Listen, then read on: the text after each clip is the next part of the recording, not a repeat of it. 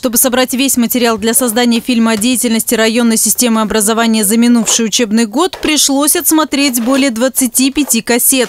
Итог – 150 видеосюжетов о работе учителей и учеников. Здесь и спортивные достижения, научно-практические конференции, конкурсы педагогического мастерства.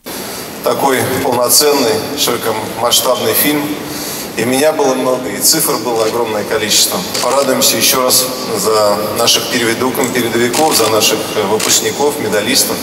В создании фильма «Образовательный форум» были задействованы все сотрудники редакции. Одна из важных задач – начитка текста. Лучшие дикторы канала озвучили достижения педагогического сообщества. Одинцовский район – трудолюбивая, щедрая на таланты земля – ее истории удивительным образом переплетены имена и судьбы. Сюжеты собраны, текст начитан, наступило время монтажа и создания оформления фильма. В результате многочасовой работы в свет вышел 25-минутный фильм, который подробно рассказал о свершениях в образовании Одинцовского района.